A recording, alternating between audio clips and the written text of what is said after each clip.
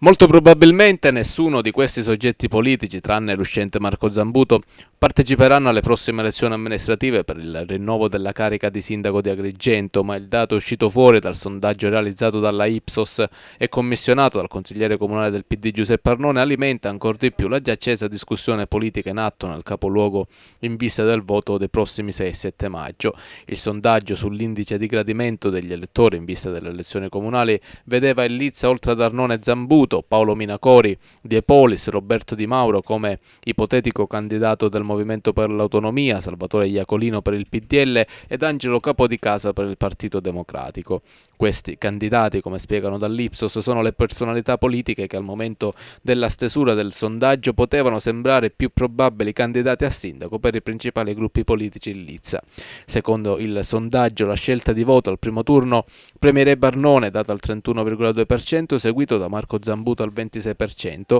Paolo Minacore al 16,8%, Roberto Di Mauro all'11,3%,